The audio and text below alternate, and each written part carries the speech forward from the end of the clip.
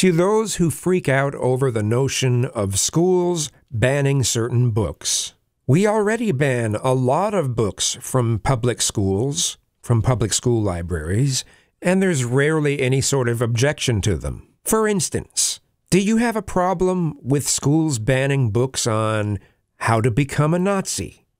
How to beat women? How about the Anarchist Cookbook?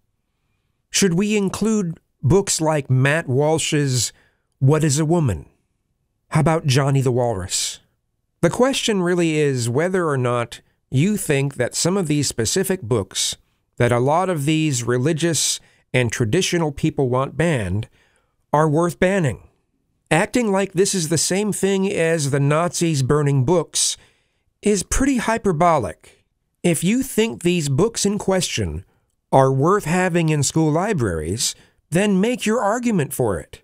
Tell us why you think these books are good to have in the school libraries, rather than just constantly deliver ad hominems. Just saying.